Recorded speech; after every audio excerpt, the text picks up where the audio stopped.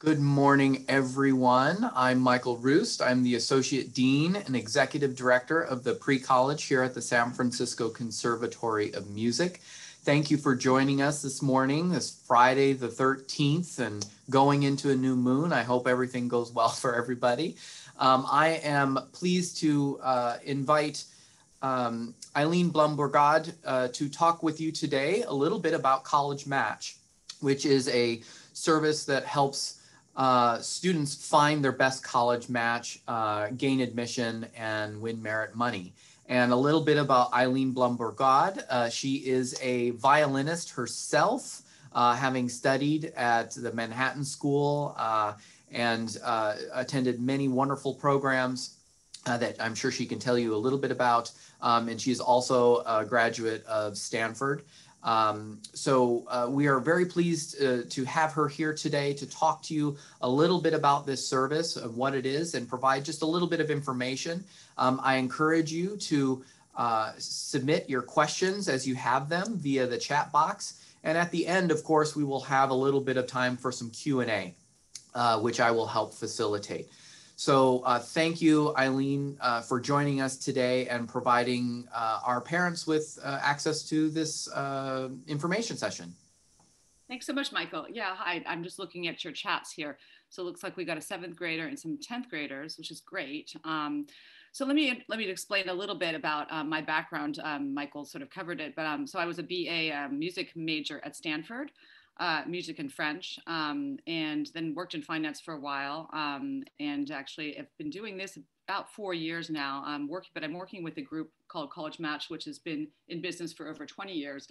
Um, I specialize. I work with kids kind of across the board in all, you know, in all areas. Um, in terms of uh, you know different profiles, uh, music students, uh, but I specialize in performing arts students. Um, and I've, I've helped quite a, a variety of kids um, with their arts, uh, what we call the art supplement for college. And, um, and just basically helping them, you know, really position themselves in a way that they can have access to the top schools. Um, so this is a, sort of this is an overall, this is a presentation actually is made for, not for music kids. So I really would, um, I'm gonna make it pretty short because I wanna be, um, you know, really kind of tailor it to you guys because you're obviously uh, the conservatory for a reason and you're probably very, all very talented musicians, but many of you I'm sure also have other uh, skills and um, so I'll explain to you very quickly with before I start this, this presentation, um, what are the difference between what we do and what other college counselors do. Um, basically, when you start with a college counselor at your high school, or even at most college counselors that are out there, uh, usually start junior year.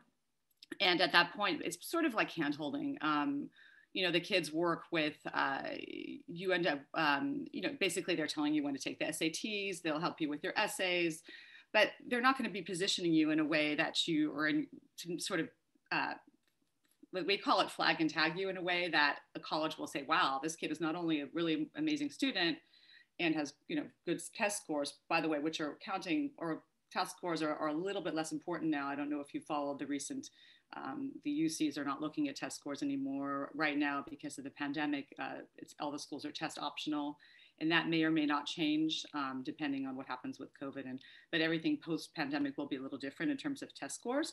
So the colleges will be looking at you know your kind of overall picture, your grades, your your um, your which classes you know if you've taken most challenging classes, but also um, you know what you've done with your music and what you've done out, outside of school. Um, so that's where it's really important to start early. And so we like to start with kids actually sophomore year. So I'm just looking at, and some of the kids we've started with actually as early as eighth grade. But um, yeah, so let me just go through the presentation very quickly and um, be happy to, this, this presentation is more about your questions and how, what we can offer um, versus, you know, what you get would get at your high, at your high school. Um, we've had a lot of success in getting kids, you know, from the sort of mid-range where they would be getting into a sort of an average school to much more higher level schools or helping them get merit money. And that's a whole nother, you know, another, um, it's, it's sort of another specialty, but we also, we specialize in getting kids merit money. So, all right, let me go on to here. So new rules, let me go back, sorry. New rules to college, college admission. Um, let me close the chat box. Excuse me if I'm a little slow here because I'm uh, new to this um, these these online webinars. All right. So um, yes, I said gain admission where merit money. um, go here. All right. Uh, all right. So find your purpose and purpose and fulfill your life. Um, one of the things we do at College Match is um, not only we not only do we help kids sort of position themselves and figure out what their their their deeper values are. Um, some kids know. Some kids really, you know, they're good at everything, um, or, or they're or they really are school but they don't have it about outside of school. Hard to know when you're 15, but you might have a good idea of what you're good at and what makes you excited, right? Um, so part of us, our, our uh, program is not just about, you know, finding the right match in terms of a college, but also, you know, helping you sort of plan like life planning or life coaching for kids. Um, so I'm sure you guys all have your students, every kid has a dream about what they might want to do you know and um, their parents your obviously the parents have may have the same vision or may have completely different vision of what might be practical practical for their kid. So we work with families to try to basically find a compromise.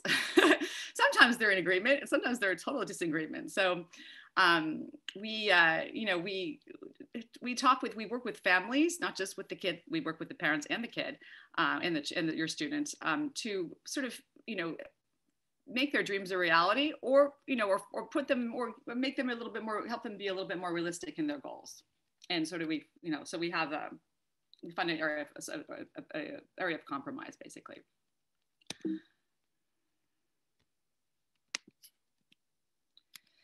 So when we start working freshman year, we talk about sparks. So, um, or eighth grade even, um, their spark is a passion that you might have and obviously you're passionate, all of you are passionate about music, but you might have something else you're very good at. Um, so we start with freshman year, was working with their sparks, trying to hone, you know, uh, their skills so that they're they can position themselves to be, uh, uh, so that they're when they get to their junior year, they're um, they've already done a lot of different things like competitions.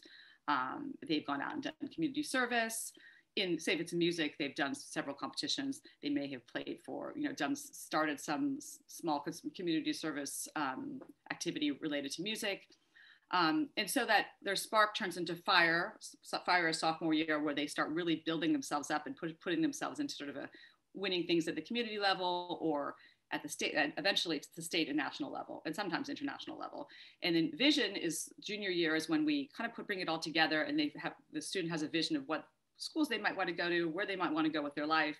And then we can, we have a whole list of colleges that we present to them junior year. And that's a working document through their junior year.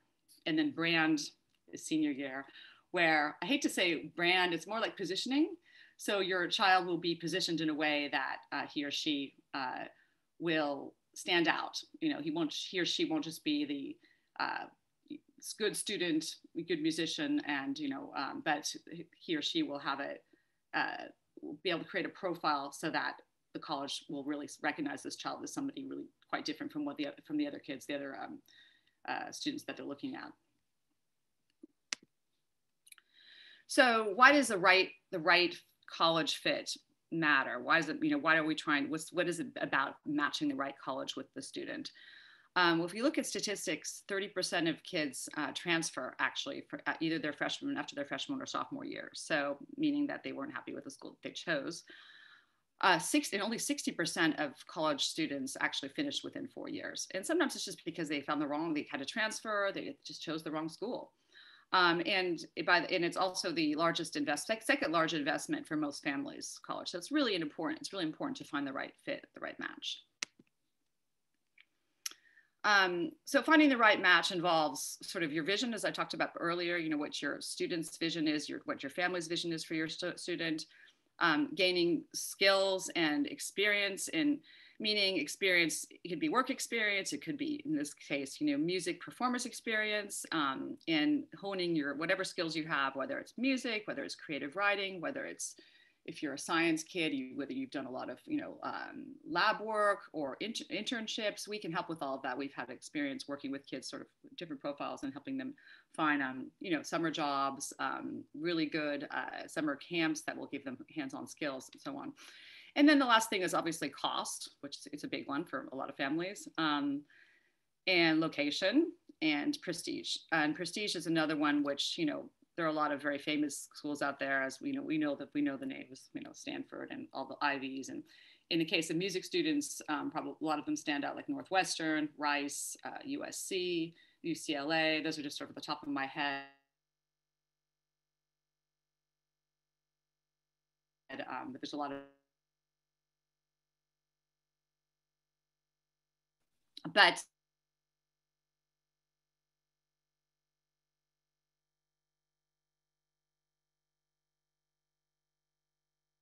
but it, there's other articles out there that are you can get most of the time you can get a, a, not a better education at a school that doesn't necessarily have the label right? Um, so there are basically six types of, of colleges liberal arts these are the, if you have any questions afterwards you can ask me but um, pomona is an example swarthmore these are smaller liberal arts schools a hybrid school is sort of you can get you can get engineering and liberal arts at the same time so um, santa clara is with local school very good in engineering also has very good liberal arts villanova is another uh, research institutions. Uh, Stanford is considered research, actually. Michigan, UCLA. Um, Stanford is sort of a, between a hybrid and a, and a research institute.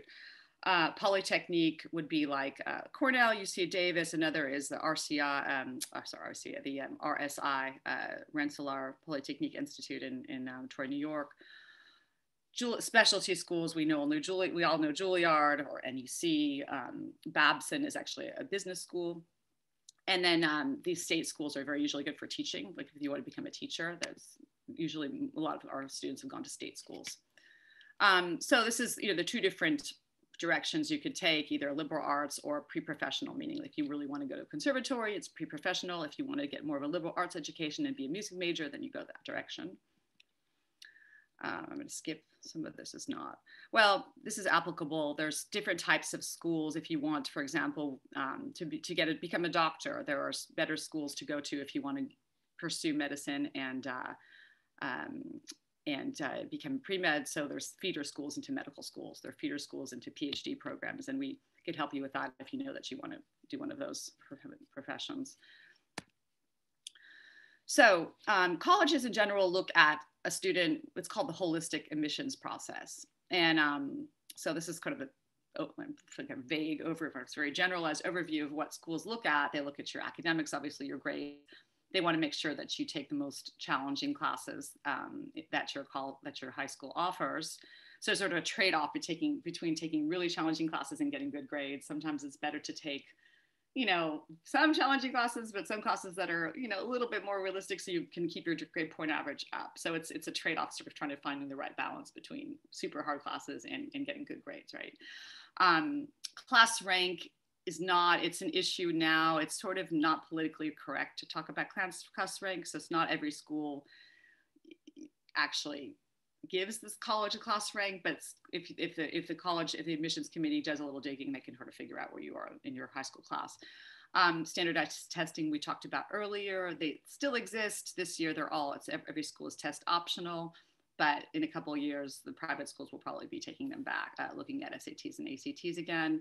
Um, SAT subject tests or sp like specific, like um, specific uh, class. So you take it for example math 2 or chemistry or biology. It's a specific class that's a, it's an sat subject test which you might be familiar with. So our students usually we tell them to take either the sat or the act or to take a few subject tests.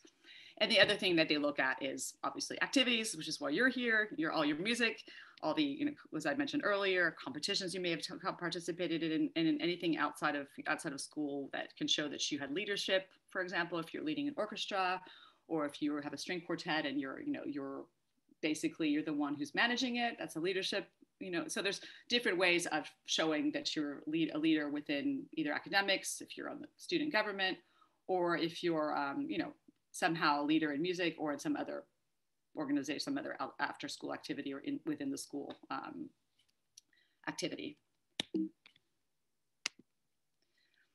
Okay, so this is a very quick overview of, of for example, USC. Um, actually, this is a little out of date. The admissions rate right now at USC is 13%. Um, and so what this shows is that it says 13%, but actually, in, if you don't have, if you're not a legacy, let me actually go to the next slide so you can see what I mean. Um, if you're not a legacy, an athlete, or an underrepresented minority, those are 40% of the of 16%. So you end up with, if you're none of those things, you actually, your chances of actually getting in are 9.6% or less. So sometimes the, when they say, um, you know, a percentage, you look at um, US World, I think it's US report of colleges, and they'll tell you an admissions rate. It's usually not that very accurate because it really depends on, you know, these other groups. If you're a recruited athlete or a legacy or a first generation college student, you much have a much higher chance of getting into a school. This is a very quick overview of Harvard. It's got a lot of detail in there, but um, this is probably from a couple years ago, but um, yes, from 2000 up to 2019 um, 2014 to 2019, it'll show you, show, basically shows you that if you're Asian or you're white, it's very much more difficult to get into Harvard. Um, and, uh, you know, it's, it's, it's sort of, uh, it's, it's, difficult. So that's why uh, all your music, everything you can do outside of school um, will really help. See, these are, these are just test scores. Um, let's see yeah um, it's, it's it shows you that that uh, it's it's all the more difficult um, if you're you know if you're asian or white and it's it's all about positioning once again. We have had, had a few students get into harvard we've had a stu- few students recently get into yale and it's um, all those kids already have very good test scores very good grades et cetera and it's about really getting them to a, a place where they can really sh- shine in whatever field it is outside of school music in your case um, I don't know if you've heard that basic college colleges really like well-rounded students. That's what we used to say in the olden days. If you're well-rounded, you'll get into college. Well, these days it's more about being angular, meaning that you really want to be, as I said, keep repeating the same thing, but very specialized in one or two things outside of school that really make you stand out. And so that's where we can help you position yourself so that you get to a place where you're that kid that you know does that's the musician that is the you know uh, helps his um, has a community service project in whatever it might be. Um, we coach kids to try to figure out what those uh, areas of specialty might be and uh, so they can stand out. So a lot of, uh, we could talk about dream colleges. Um, everybody sort of has a dream college I, um, in, in, our experience. And um, a lot of times our students have gotten into their dream colleges and not because they were really, um, you know, all of the students that we've worked with, most of them have very good uh, academically and they have something outside of school. But really what we try to help them do is tap into the school's unmet needs. And believe it or not, even the Ivy Leagues have un- unmet needs. Um, and so that's kind of one of our strategies. One of the strategies we use in positioning kids is to try to figure out a way of, of presenting our students in a way, such a way that they're tapping into an unmet need of the school. So when you do visit a, these, a college, um, usually we recommend it during your junior year. So um, you'll, will be next year for your sophomores. Um, we recommend if when post-pandemic or even pre-pandemic, right now we've had uh, kids just go on to virtual um, tours. But eventually when you can visit a school, spend at least half a day at the school, take notes, talk to faculty, talk to students, really get a feel for the school because it's, it's really, it's awfully hard to know um, when you're, you know, from afar. And um, I visited over 40 colleges and I have my own opinions about these different schools, but you know, it's really personal and it, it depends on what your, your family, your family's needs and your personal, you know, it's a very um, subjective uh, things. So it's I highly recommend when you get a, a, list of schools that you really are considering to go visit. Um, so when you apply, uh, it's usually the end of your you know yes, your senior year, early senior year. Sometimes we start to have our we have our kids start to think about um, their essays, maybe even the end of junior year, but starting the, the summer of after your junior year. Um, so we like to say that colleges don't admit a student, they admit an application, which is what I've been talking about this whole presentation, like positioning yourself, present, really getting an application, a solid application so that your essays are really interesting, so that they can see clearly that not only do you have good grades and good recommendations and so on, but you're, um, there's something about you that they, they notice, right? And so it's, it's not, it's all, I, I want to say marketing, but it is marketing in, in a way. So, um, and um, supplemental essays are very important. Uh, we have a writing strategist that actually helps you with the essays. I do some of the editing as well, but we have a specific um, person that works with us that's a, uh, a creative writer and, um, and is very good at helping kids, you know, uh, create a sort of a work of, of art in a way in these applications. So it's really uh, engaging and engages the reader. Um, so the most most important things um, that you really need to concentrate on, I'm just repeating what I've said earlier, um, I said essays, academic awards, and music, in the, or in this case, in this group, musical awards and honors and activities outside of school. Um, this is the personal statement, which is starting, uh, you know, this is where I talked about creativity, unique language. This is where our, our writing strategist helps. Um, so this is our, you know, our team has been doing this for over 20 years. As I mentioned earlier, it's, it's sort of a life path approach versus college, pure college counseling. Um, we have also worked with kids helping them get into high school, but um, it's mostly college at this point. Um, this is one example of a kid that's a musician, so I thought this would be kind of apropos for this group. Um, Kim was a violinist, uh, a very good violinist, and still is a violinist, by the way. Um, she really wanted to either go to medical school and possibly become a surgeon or, or pursue music. She wanted to do one of those two things. The parents said, well, either you really, really put all your eggs in one basket and, and go to music school or go into business, you know, where you can actually make some, some money if, if you can't go into music. And um, so what she ended up doing was um, she was, good at music and at and science. Uh, she ended up going to uh, Oberlin and doing um, the conservatory program there, and then also doing a, like a duo degree in biology, which is a five-year program. They have many five-year programs in that school. Um, there are several others I could mention if you have any questions about various schools where they have a, the dual degree program. So we have a one-on-one service. We can talk about if you have any questions um, about, about our service, I can answer those after this. 96%, um, actually last year it was 97% of our students got into one of their top three choices and, uh, of schools. And then 70% of our students received some kind of merit award, averaging $80,000 over four years. So I do. We have do have a book, and um, we offer a free introductory, introductory phone call. Um, I'm going to put after this. I'm going to figure out how to put my phone number in, and I think I put our website on there um, in the chat. But yeah, so I'm going to stop sharing the screen. okay, all right. Um, see if I have a look at the chat and see what questions there are. Um, 11th grade, 10th. Okay. All right, great. Um, okay, I got through my first webinar. Um, webinar. Um, are there any questions? Uh, you can unmute people if you want. I mean, some or, or write a chat, whatever, um, whatever you prefer. Um, be happy. I'm going to put my I'm going to put my information in here just so you guys all have it. I think I put earlier put our website in. This isn't this is the general website. Mine is as I said I specialize in the performing arts students, but I've worked with athletes. I've worked with sort of kids of every profile. And with my phone number. Don't be shy, folks. If you have uh, any questions you'd like that are kind of burning, um, you know, this is, uh, you know, Eileen and, and College Match is a great resource if you're looking to see what and, and how um, the work that you're doing in the pre-college now can help you stand out as you apply for uh, schools that are perhaps not schools of music. Um, so if you have any questions, happy to uh, read them off here. Um, we have a question here. Are college match services on an annual fee or is it all inclusive? So um, it's so it's usually uh, well I, there are two two ways we do it. Usually um, if we start working with kids sophomore year, we recommend recommend sort of an all sort of an all inclusive um, fee where um, it's usually 45 hours of work and uh, we start sort of uh, we have an initial consultation we have a deep dive into their personality and, and values and so on. We talk with the with the parents and the and the students not just with the student. And then we, we have weekly sort of bi-weekly meeting and uh, not bi-weekly every other week we'll meet with the student just to sort of coach them along the process to make sure they're on the track. We give them very we're very proactive about kind of making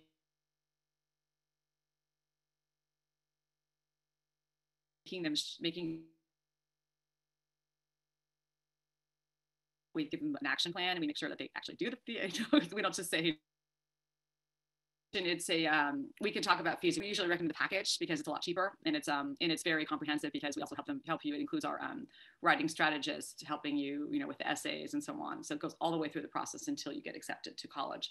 Um, I also work on an hourly basis. So if you want to just do a, a consult, I, as I said, the, our initially if, we have a free phone call, half an hour, 15 minutes to actually 15 minutes usually to 20 minute phone call where I'll explain everything, our rates and so on. And then um, I can work on an hourly basis. I if it's if you're a junior or like a senior, we have boot camps and that is a kind of a different thing. It's usually on an hourly basis and it's usually just sort of getting you in gear, like, you know, helping you with the application process and getting things done. But yeah. it's, at some point, it's kind of too late. So it's, I mean, not too late, but it's hard to, you can't position a kid. They're already seniors. So. Yeah. So uh, we've got a question here 12th grade, right in the middle of application. Is it late to get your service? it's not too late. No, I mean, I'd be happy to help to talk to like we can at least help you with the essays and making sure that you're you know filling chicken out the right sort of position. You know, really making yourself it, it, whatever we can do to help you. Uh, your profile basically it's, it's a little late but we can definitely help seniors we are doing it all the time right now i don't know why people wait until the last minute but that's what happens sometimes so yeah just give me a call or shoot me an email um, any questions about music school specifically? Are you are you guys all listening to? Are you thinking about, you know, going to a, a conservatory or going to a conservatory program or doing a double major or doing a music major or do you have any questions about Stanford even? I know a lot about that music program. so I'm just wondering if you have any specific questions about colleges, I can answer those. Just give a moment to people to, to type in if they need to.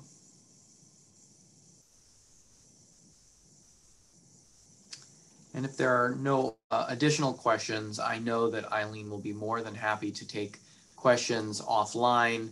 Uh, for those of you who are joining us, um, she has put her uh, contact information in there. I would highly encourage you to reach out. Um, looks like we got some questions popping in the chat now. Uh, what's the best way to get in touch with music faculty at your dream school? Well, you know, in my experience, the best way is just email. You can find their emails usually in their, um, I mean, depending on the school and depending on the teacher, because, you know, it is a little bit, it depends. I, I, don't want to generalize, but in my experience, it's usually you can um, reach out to the teacher through the music department and an email. Um, and some of, you know, depending on the teacher, some of them are a little bit, I don't want to say prima donna, you know, but but in my general in my experience with students that have tried to find teachers, uh, they've actually found out that most of them are very happy to have you know give you either a uh, you know a trial lesson or um, in, in, in no, it's usually a free trial lesson for most of in my experience, and because they want to recruit kids, if you know, especially if you're talented.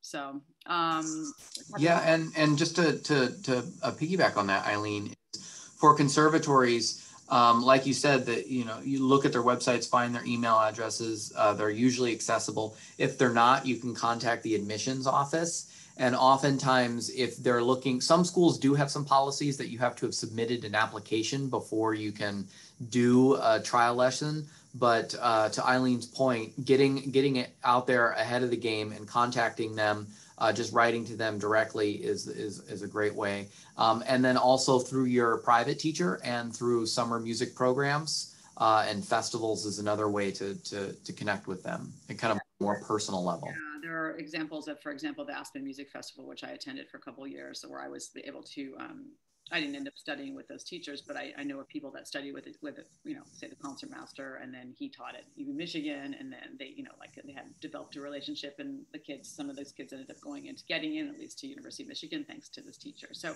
it is a good way to um, to connect with teachers, and yeah, and um, probably yeah, but they want you to apply or show that you're really interested in applying, um, because otherwise they don't want to give you know, otherwise they'd be giving lessons, you know all over the place. Just and um, it's a little bit like contacting a sports coach. I, w- I always say that you know if you're if you're a good soccer player and you're not flagged, you haven't the schools haven't found you yet. Um, reaching out to the coach, showing, sending your videos, you know, promoting yourself basically is what it is. And then you know the more you or you're out there and you're the more visible you are, the more likely you are to to get their attention. So, um, what type of musical achievements really make a difference in the application? So, Yeah, so that's a good question, and it's I have a whole list of different different in levels of we call them levels of you know what the schools look at, and whether it's music or something else. Um, usually, you know, a D1 recruitable athlete usually is, is looked at. Unfortunately, a lot of these schools is, is more important than you know a, a, a concert musician, but it really depends on the school. And um, basically, you want to aim as high as you can starting at a local level, but getting to you know state and then eventually an international international level. And so um, yeah, it's it's a that's a little bit of a I can't be that specific. I'd have to go through a whole list of, of, of competitions and so on, and then you know sort of um, get into the nitty gritty of which ones look better than others. Um, and then can you expand on ways to show leadership? How can we learn about the school's unmet needs? Well, that that's where we help you. Um, you know, that's a that's part of our uh, as part of our expertise. And um, you know, if, if, you want to give me a call or, or, shoot me an email, I can I can help you uh, with that. And showing leadership is, you know, some of it's obvious, some of it isn't. Uh, if you're a part of the student government, you know, that's an obvious one. Um, but there are other ways. There's you know there's all kinds of summer programs out there. Um, some of them are worth that are a little bit more um, reputable than others. So we we have those that knowledge and we can help you with that. Um, Okay, let me just see if I've everything 12th minute. Uh, college match services on an annual fee. Yeah. Um, yeah, it's not. Um, I answered that. Okay, I think that's, see, pre-college student council, self-directed concerts and community service. Yeah. Those are great opportunities we provide here in the pre-college. right. there you go. Wow, there's a pre-college. I didn't know that pre-college student council. How, yeah. How, how, old do you have to be? What's the, is there an age limit? Uh, it's, it's just generally high school age. High school. So, uh, you know, if, it, as a student is really looking for an outlet for them to show leadership, uh, we've found that even, uh, you know, for those students who are homeschooled, uh, finding those avenues or outlets to do leadership is, a, is sometimes a little trickier. Uh, so, you know, the pre-college, one of the things I did um, uh, last year was our first year having a, a, student council, and it's a great opportunity for the students to lead on specific projects. Our student council is working on community building and doing some benefit concerts this year, which are great ways in which you can show that you are uh, not only exercising leadership, but also participating fully in your community. Uh, and then our certificate program in the pre college is yet another opportunity for you to build that uh, that that brand. Uh, and we have at the high school level three different kinds of certificates that you can get. You can get a performance certificate, a community uh, service certificate, or a scholar uh, certificate. And that gives the students an opportunity to show where their values are and what they're really committed to. So, and that's another opportunity to show leadership because all of those projects are self-directed. So looking for those kinds of things within the pre-college uh, is really valuable. And that's stuff that I'm here to help you with uh, if you need as well. Thank you, Michael. That, was great. Um, those are great opportunities and those will be definitely looked at by colleges. Um, I see there's one other question that says, would love conservatory information. Yeah, I guess it's a very general question. I have that information and Michael has that information as well. So it really depends on which school and, you know, it's, that's a very vague, it's a, you know, general question. I want to say vague, general question. So um, we could, it needs to be a little more specific and we can definitely help you or, you know, Michael or I, both of us probably could help you with that. Um, do you submit San Francisco Conservatory and transcript to university as supplement? Uh, your grades? um, I don't know, Michael. I don't think, you know, you the most so art supplement usually is just your playing, right? So depending on that, the other thing I did not address is whether if you want to do a bachelor of, of fine arts in music or bachelor of music or a bachelor and sorry, there's BFA, there's the BM or bachelor of music, and then there's BA music, and they're a little they're different. They're all the BA music is just a general, um, still a lot of work, but it's you know music theory, uh, music history and performance, right? A Bachelor of Music is much more performance oriented. You still have to do the theory and all that, but it's really a performance degree. Um, and the BFA is all performance. So, like for example, Rice University, um, that's a BFA. You're in the conservatory program, and um, you can take classes you can do a double major it's very difficult to do um, certain things you can major in you could do a dual degree excuse me um, but you do a conservatory degree and then there's only certain subjects that will actually work to do a dual degree with um, if you can want to do engineering and you know in the conservatory program it's not possible for example so there's you know it's very school specific um, but in terms of the grades at the conservatory, I mean, you could submit those, but that wouldn't be part of your art, art supplement. What your art supplement is your playing, right? in your artist statement, your personal statement.